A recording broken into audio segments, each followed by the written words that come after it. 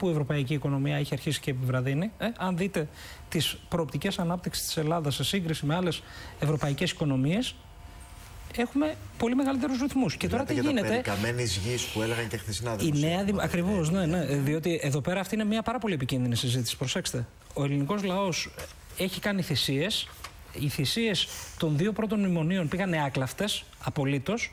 Και οι πολύ μικρότερες θυσίες της Τρίτης Συμφωνίας που κάναμε εμείς ε, απέδωσαν. Γιατί απέδωσαν, γιατί βγήκαμε από τα μνημόνια, ρυθμίσαμε το χρέος, έχουμε μπει σε αναπτυξιακή τροχιά. Φτάνουν αυτά; Όχι, δεν φτάνουν. Και εμείς κάναμε λάθος που αυτό το πράγμα δεν το λέγαμε και δεν το υπογραμμίζαμε όταν ανακοινώναμε τα θετικά μέτρα. Και αυτό εν μέρει εξηγεί και το αποτέλεσμα των εκλογών, έτσι. Διότι έχω πει κι αλλού ότι ήταν 5,86 ο κατώτατος μισθός και με 5,86 δεν βγαίνει ο μήνας.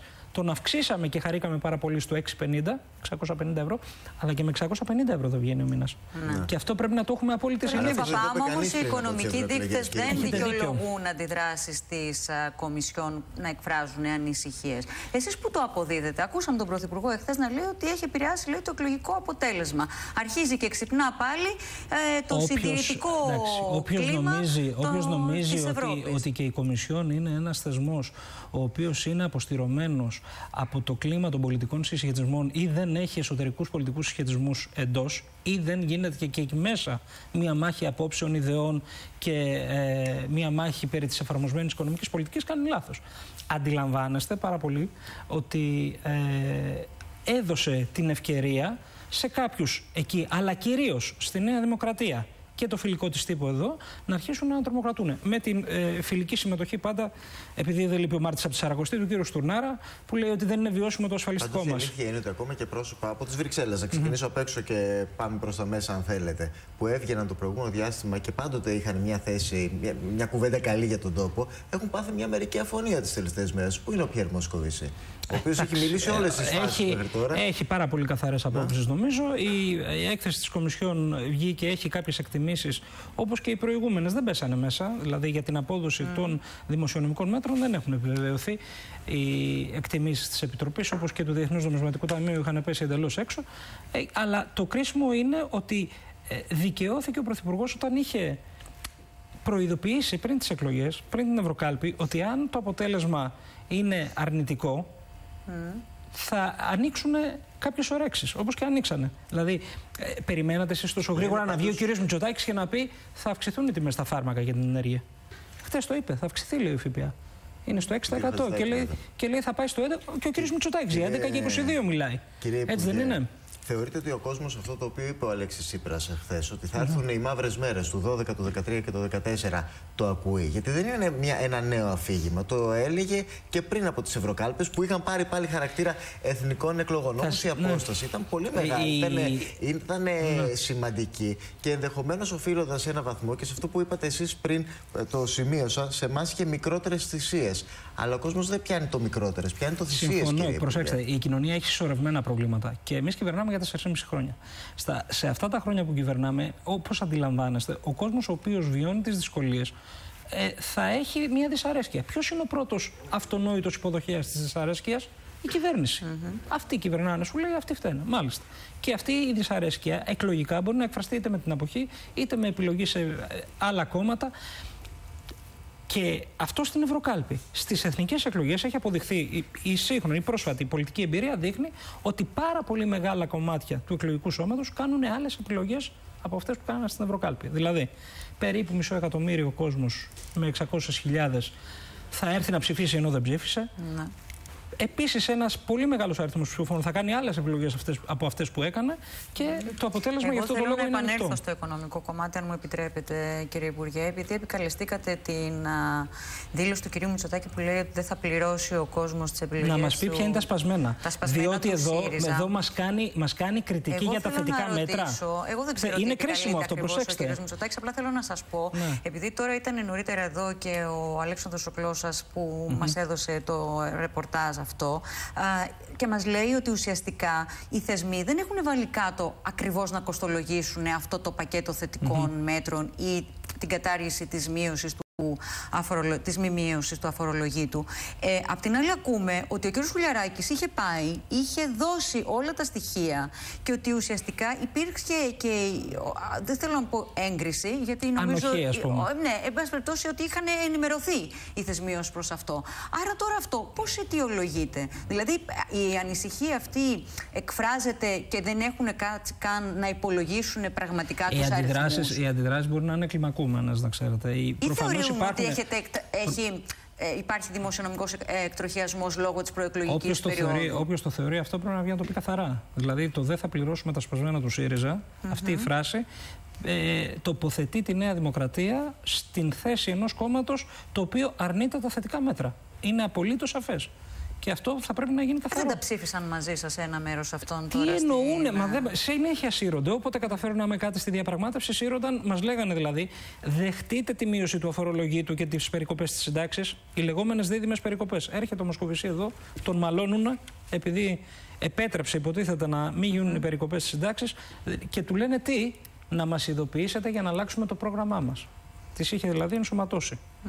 τις περικοπές αυτές. Και τώρα έχει για κάποιο λόγο αρχίσει και ε, οικοδομεί ένα αφήγημα ότι εκτροχιάζεται η οικονομία. Από όσο αντιλαμβανόμαστε, αυτό το δεν θα πληρώσει τα σπασμένα. Είχε πρώτο δέκτη, αποδέκτη την ε, Κομισιόν, την οποία ο κύριος Μητσοτάκης κατηγόρησε. Συγκεκριμένα, για, κύριε Λασκαράτε. Για πρακτική αυλεψία. Διαβάζω εδώ και το δημοσίευμα του Έθνους, έτσι όπως αποτυπώνεται από τους ε, συναδέλφους, ναι. ως προς τις αστοχίες, λέει, και τη μεταρρυθμιστική ολιγορία της κυβέρνησης. Μεταρρυθμιστική ολιγορία, όταν ακούει ο κόσμος να το λέει ο κύριος Μητσοτάκης, αντιλαμβάνεται ότι είναι ενάντια στα θετικά μέτρα. Είναι πάρα πολύ απλά τα πράγματα. Διότι μεταρρύθμιση για τον κύριο Μητσοτάκη είναι να έχουμε ένα προσπέτη στο δημόσιο. Μας ακούει ο κόσμος που αυτή τη στιγμή μπορεί να είναι σε ένα τόμι ή σε ένα νοσοκομείο mm -hmm. και να αισθάνεται ότι δεν είναι επαρκή οι νοσηλευτές και οι γιατροί. Θα πρέπει να φεύγουν πέντε για να παίρνουμε έναν. Θυμάμαι. Ο κ. Μητσοτάκης, να σα πω ένα παράδειγμα, γιατί ε, είναι πολύ χαρακτηριστικό. Ήταν υπουργός διοικητικής μεταρρύθμισης. Ήταν ο υπουργός των απολύσεων. Ο πιο αποτυχημένος υπουργός διοικητικής μεταρρύθμισης. Έκανε τις απολύσεις και τι άλλο έκανε, διόρισε με μία υπουργική υπογραφή πέραν κάθε διαδικασίας, χωρίς ε, να γίνονται τα, τα, οι σχετικές ε, κρίσεις από την ιεραρχία διευθυντές με μία υπογραφή μόνο, τη δική του 250 στο δημόσιο. Ενώ είχε ταυτόχρονα στο γραφείο του 50 άτομα. Στο, στο κομμάτι και στην κουβέντα που γίνεται για τα ρουσφέτια, θα σας ζητήσουμε σε λίγο τη γνώμη σας, ναι, γιατί έχουμε και την εξέλιξη με την κυρία Ναι, αλλά προσέξτε, ήταν υπουργός διοικητικής Εμείς συμβασιοποιήσαμε πριν λίγες μέρες το μεγάλο έργο για την ηλεκτρονική διακίνηση εγγράφων Γιατί σας λένε τώρα στην έκθεση, συγγνώμη Κώστα, για τους 1550 ότι είναι υπεράριθμοι συμβασιούχοι. Ε, Εντάξει, κύριε τώρα αυτό είναι μια λεπτομέρεια την οποία. Δηλαδή, την οποία θέλω να πω, γιατί ο Πρωθυπουργός το έβαλε, ότι ξαφνικά αρχίζουμε και ακούμε πάλι ναι, ε, για, απολύσεις, Έτσι, ναι. στο δημόσιο που δεν είχε ανοιχτεί εδώ και πόσα χρόνια από τότε που αναλάβαμε εμείς κυβέρνηση. Επί της ουσίας, το θέμα των απολύσεων έκλεισε σιωπηρά όταν έγινε η πολιτική αλλαγή. Θέλω να σας θυμίσω ότι η περιβόητη πέμπτη αξιολόγηση προέβλεπε 15.000 απολύσεις για το 2015. Έχετε ξεπεράσει το ένα προς ένα. Αυτό δεν είναι συμφωνημένο. Όχι, δεν έχει. Τότε δεν γιατί, έχει μας, γιατί βγάζουν 1550 δεν, δεν, παραπάνω; Δεν, δεν είμαι πολύ βέβαιος ότι ισχύει αυτό. Να το, να το δούμε και να το δει και το Υπουργείο Διοικητικής Μεταρρύθμισης. Αλλά, εν πάση περιπτώσει, το κόστος της ε, μισθοδοσίας του δημοσίου έχει πέσει ραγδαία. Το δημόσιο έχει συρρυκνωθεί, πάρα πολύ κρίσιμες υπηρεσίες είναι υποστελεχωμένες και εδώ πέρα ε, ξεκινάει εκ νέου μια κουβέντα, όχι γιατί χρειαζόμαστε λιγότερες υπηρεσίες, γιατί θεωρεί η αιμονική νεοφιλελεύθερη ιδεολειψία ότι οι ιδιώτες θα την κάνανε καλύτερα τη δουλειά, δηλαδή οι εργολάβοι. Εγώ θέλω να, να επανέλθω λίγο σε αυτό το, το βασικό αφήγημα και να ρωτήσω, να επιμείνω, γιατί θεωρείτε ότι από τη στιγμή που το αφήγημα δεν έχει αλλάξει, αυτή τη στιγμή θα το ακούσουν οι ψηφοφόροι. Θυμάμαι τον Πρωθυπουργό στο στάδιο Ειρήνη και Φιλίας να λέει, ασκώντας κριτική στον κύριο Μητσοδάκη, ότι είναι ο πρώτος πρόεδρος κόμματος που αντί να μιλάει στους πολίτες, τους απειλεί. Αυτή η απειλή, έτσι όπως την περιέγραψε ο Αλέξης Σύπρα, δεν ε, ε, μοιάζει να φόβησε τους ε, ψηφοφόρους. Πήρε σχεδόν 10 μονάδες μπροστά η Νέα Δημοκρατία. Γιατί τώρα αυτή την απειλή όπως την επικαιροποιείται και την αναδεικνύεται ε, θα την ε, αντιληφθεί ο πολίτης ως κάτι το οποίο θα τον είναι, άλλη, αλλού; Είναι άλλη κάλπη. Και όπως είπα και πριν, η Ευρωπαϊκή Κάλπη, επειδή ακριβώς δεν κρίνεται το ποιος θα είναι κυβέρνηση τη Δευτέρα, δηλαδή, να σα πω ένα παράδειγμα. Ένας άνθρωπος, για παράδειγμα, ο οποίος είχε ψηφίσει ΣΥΡΙΖΑ το Γενάρη, ΣΥΡΙΖΑ το Σεπτέμβρη περίμενε περισσότερα από εμάς μέσα στην τετραετία, μπορεί να επέλεξε να μην προσέλθει στην κάλπη. Ήξερε όμως ότι τη Δευτέρα το πρωί δεν θα ήταν η κυβέρνηση ο κ. Μητσοτάκης, θα ήταν η κυβέρνηση ΣΥΡΙΖΑ και Τσίπρας. Αυτό το, το πλαίσιο δεν υπάρχει αυτή τη στιγμή. Αυτό θα το, το κινητοποιήσει τώρα το να είναι, να πάει να ψηφίσει. Αυτό καταγράφει η ιστορική εμπειρία. Η ιστορική εμπειρία καταγράφει ότι περίπου μισό εκατομμύριο με 600.000 συμπολίτες μα. Πώς θα αλλάξετε το ναι. αφήγημα τώρα, Γιατί αυτό είναι η Σας μία. Σα είπα, είναι άλλη κάλπη. Δεν, δεν τι, Από μόνο του δηλαδή. Το αφήγημα.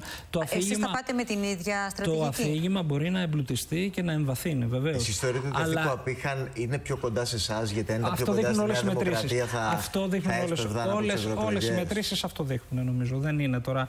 Ε, παραβιάζουμε ανοιχτές θύρες τώρα, αν κάνουμε κι εμείς ότι εμπνευστήκαμε ένα τέτοιο συμπέρασμα. Έχει καταγραφεί, νομίζω. Και είναι απολύτως λογικό. Δεν είναι κάτι το οποίο πρέπει να εκπλήσει. Ε, και επειδή ακριβώς ανοίγει μια νέα περίοδος με τα διλήμματα να είναι μπροστά μας πάρα πολύ καθαρά. Δηλαδή, εδώ ή θα αυξηθούν οι τιμές στα φάρμακα ή δεν θα αυξηθούν. Και μάλιστα δεν έχουν δεσμευτεί αν θα πάει στο 11 ή στο 22% τα φάρμακα, τα, η ενέργεια και τα βιβλία. Έτσι, θα πάμε στο 1 προς 5 στο δημόσιο. Τι θα γίνει με το αφορολόγητο, θα το λέει, θα το ε, κατατάξει στα μέτρα που πρέπει να πάρει λόγω των σπασμένων του ΣΥΡΙΖΑ; Ποια είναι τα σπασμένα του ΣΥΡΙΖΑ, να μας εξηγήσει. Διότι εδώ πέρα είναι απολύτως σαφές, καθώς περνάνε οι μέρες, ότι χτίζονται επιχειρήματα ενάντια στα θετικά μέτρα. Όπως ακριβώς δυστυχώς το είχαμε προβλέψει και νομίζω ότι ο λαός μας είναι ενώπιον πάρα πολύ κρίσιμων επιλογών. Πάντως, Καταλαβαίνει την Παπά, Ο κ. Μητσοτάκης, έτσι όπως τον έχουμε ακούσει μέχρι αυτή τη στιγμή, δεν ξέρω αν κοστολογεί ακριβώς αυτό που λέτε εσείς που θα τα βρει τα χρήματα να τα κάνει όλα αυτά. Αυτή η μείωση των φόρων είναι πολύ πολύ ψηλά στην ατζέντα. Δηλαδή και χθες τον ναι, παρακολουθήσαμε ναι, από το ΣΕΤΕ που λέει και για το τουριστικό πακέτο ότι πρέπει να πάει στο 11% για να είμαστε ανταγωνιστικοί απέναντι στους άλλους, γιατί είναι η βαριά βιομηχανία της χώρας και για τη μείωση φόρου επιχειρήσεων. Δηλαδή λέει ότι θα τα φέρει με το καλημέρα αυτά. Όχι. Για τη μείωση του φόρου επιχειρήσεων ξεκίνησε και λέει σταδιακά το τελευταίο διάστημα. Mm. Όπως σταδιακά εφαρμόζεται. Όπως σταδιακά εφαρμόζεται αυτή τη στιγμή και για την. Ο κύριος Μητσοτάκης το μόνο που μπορεί να εγγυηθεί είναι μια μαύρη τρύπα δημοσιονομική και αν αυτό το συνδυάσουμε με την ρίση του αντιπροέδρου του που είπε άκουσον άκουσον. Η Ελλάδα λέει, ο αντιπρόεδρος της Νέας Δημοκρατίας, δεν μπορεί. Όχι, ο, ο, Γεωργιάδης. Δεν μπορεί ναι. να δανειστεί από τις αγορές. Προσέξτε το επικίνδυνο μείγμα. Δηλαδή, ο κύριος Μητσοτάκης περιγράφει μια πολιτική η οποία θα σημαίνει αυτομάτως περικοπές και αδυναμία δανεισμού αρχίζουν και λένε. Πού, το βάσισε αυτό; Όχι, πού πάει αυτό το μείγμα; Σας λέει τίποτα. Πού πάει, κύριε Υπουργέ; Στο Διεθνές Νομισματικό Ταμείο πάει. Όταν δεν μπορείς να δανειστείς από τις αγορές. Και, έχεις... ότι επιστρέφουμε και στα έχεις... μνημόνια. Ότι επιστρέφουμε στις πολιτικές που θέλησε να επιβάλλει το Διεθνές Νομισματικό Ταμείο είναι απολύτως βέβαιο. Και ότι εδώ πέρα χτίζεται μια επιχειρηματολογία η οποία στρώνει το έδαφος για τέτοιου τύπου επιλογές είναι απολύτως σαφέ. Αυτό που ασκείται στην κυβέρνηση είναι ότι προσπαθεί να δημιουργήσει ένα κλίμα φόβου στους πολίτες για να επιστρέψουν στην κάλπη και να στηρίξουν το ΣΥΡΙΖΑ. Και, εν πάση περιπτώσει, ότι προσπαθεί να δημιουργήσει πάλι και ένα συγκρουσιακό αφήγημα σε σχέση με τις Βρυξέλλες. Ε, ένα μέτωπο να ανοίξει που είχε κλείσει τα τελευταία χρόνια όταν πράγματι ήταν καλές οι σχέσεις του. Κύριε Λασκαράτε, εμείς είμαστε η παράταξη της αισιοδοξίας. Που ακόμα και στις δύσκολες στιγμές, ακόμα και όταν ο συσχετισμός είναι απολύτως αρνητικός, είπαμε θα σφίξουμε τα δόντια, θα μείνουμε να δουλέψουμε και να καταφέρουμε πέντε πράγματα. Η Νέα Δημοκρατία είναι η παράταξη η οποία χρειάζεται το φόβο του πληθυσμού ως απαραίτητο συστατικό για την εφαρμογή του προγράμματός της. Εσείς νομίζετε ότι είναι τυχαίο το γεγονός ότι τα ψηφοδέλτια της Νέας Δημοκρατίας θα το κοσμούν άνθρωποι οι οποίοι με τα γραπτά τους συστηματικά ξεπλέναν τη Χρυσή Αυγή το προηγούμενο διάστημα; Ή κάποιοι εξυπνάκιδε έτσι νεόκοποι. Οι οποίοι... Θα τα δείτε τώρα. Τις επόμενες μέρες θα έχουμε την ευκαιρία να τα συζητήσουμε όλα.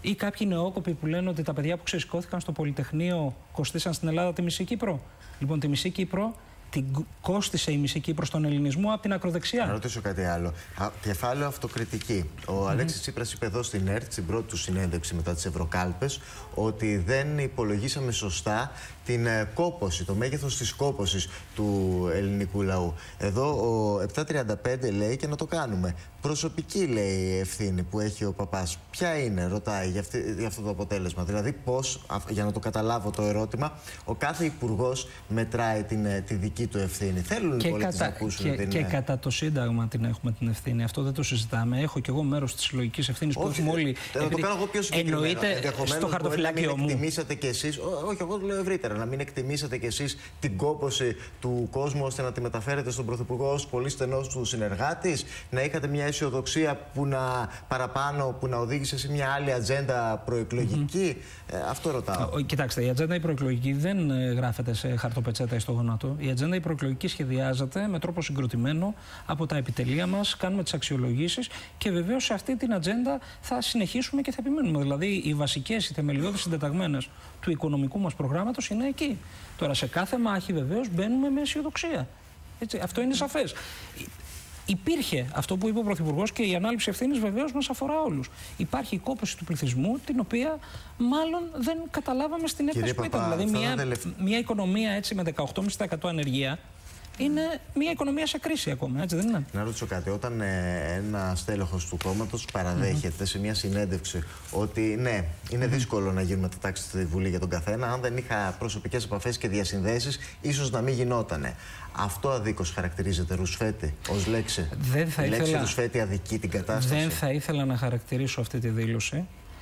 Ε, νομίζω ότι ήταν σωστή και επιβεβλημένη η ε, κίνηση σε σχέση με την Τασία τη Χριστοδουλοπούλου να μην είναι υποψήφια. Να ακολουθήσουν και άλλοι το παράδειγμά της. Θα ήταν πολύ ενδιαφέρον να δούμε ε, ακριβώς ποιες είναι οι λίστες αυτές για τις οποίες μιλάμε. Να ακολουθήσουν και άλλοι το παράδειγμά της. Έτσι όπως το λέει όμως, ε, ουσιαστικά υπήρξε και μια κριτική εσωτερικά στο κόμμα που την οδήγησε ε, στην, αυτή τη Κοιτάξτε σήμερα. Ο, ο, Πρωθυπουργός τηλεφωνήθηκε με τον πρόεδρο της Βουλής και τα γεγονότα μιλάνε από μόνο ε, τους από εκεί και μετά. Να ακολουθήσουν και άλλα στελέχη το παράδειγμά της σε περίπτωση που το όνομά τους πρωτοκλασάτα ή λιγότερο λέω, πρωτοκλασάτα έχει συνδεθεί λέω, με ανάλογες Λέω ότι έχουμε αυτή, τη στιγμή, έχουμε αυτή τη στιγμή κάτι πάρα πολύ συγκεκριμένο. Θα ήταν πάρα πολύ ενδιαφέρον να δούμε τι ακριβώς έχει γίνει στο σύνολό του. Έτσι δεν είναι; Τώρα, κάτι τελευταίο, κύριε Παπά, και κλείνουμε. Τουλάχιστον ε, εγώ θα ήθελα να μας τοποθετηθείτε και το, με το τι συμβαίνει στο κίνημα αλλαγής και τις εξελίξεις με τη ρήξη του κυρίου Βενιζέλου με την κυρία Γεννηματά. Ναι, κοιτάξτε, το κίνημα αλλαγής ακολούθησε μια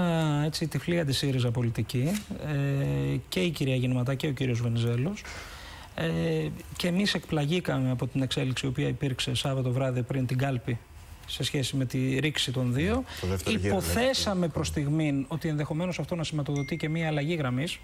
Δηλαδή ε, ότι το κίνημα αλλαγής θα πήγαινε σε μια γραμμή η οποία λέει ότι δεν είναι απαραίτητη η στρατηγική του ΣΥΡΙΖΑ και ότι το ζήτημα τώρα είναι να αποτρέψουμε τη δεξιά παλινόρθωση. Ουσιαστικά ότι έβγαινε το εμπόδιο που άκουγες στο όνομα Βενιζέλος. Το υποθέσαμε προς στιγμή. Το υποθέσαμε προς στιγμή. Αλλά πρέπει να σας πω ότι ε, η έκπληξή μας ήταν μεγαλύτερη την επόμενη μέρα, ε, όταν και από την προηγούμενη το βράδυ είδαμε κάποιες διαρροές στον τύπο και τη δήλωση της κυρίας Γεννηματά, η οποία την ώρα της κάλπης ζήτησε να καταδικαστεί αυτοδιοικητικά ο ΣΥΡΙΖΑ. Προσέξτε, σε κάλπη της Αττικής.